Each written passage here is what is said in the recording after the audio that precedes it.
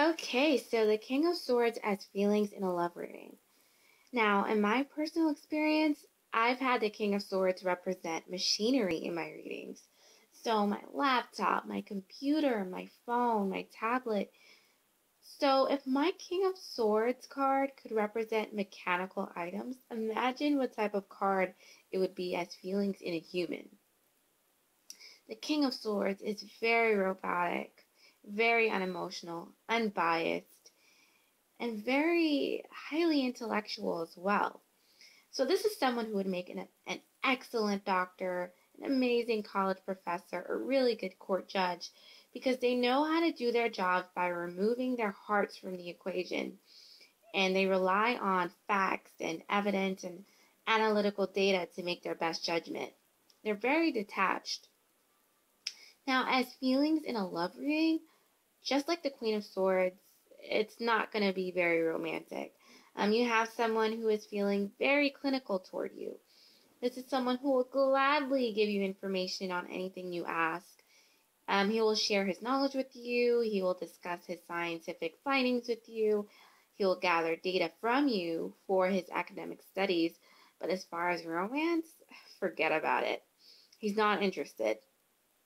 If you want to talk about politics or discuss quantum physics, for example, he's totally down for it. But don't expect him to be interested in romance and, you know, all that emotional stuff right now. Um, he has tunnel vision right now, and all he wants to do is gather more intellectual knowledge and gather more information. Again, his feelings will be very robotic, much like a laptop or phone. So, you know, you can get data from your phone, for example, like if you want to find out if it's going to rain tomorrow or how long it takes to fly from New York City to Paris.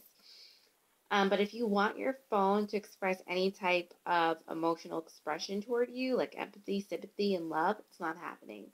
And that's really what the King of Swords is all about. Like, it's very machine like, it's very android.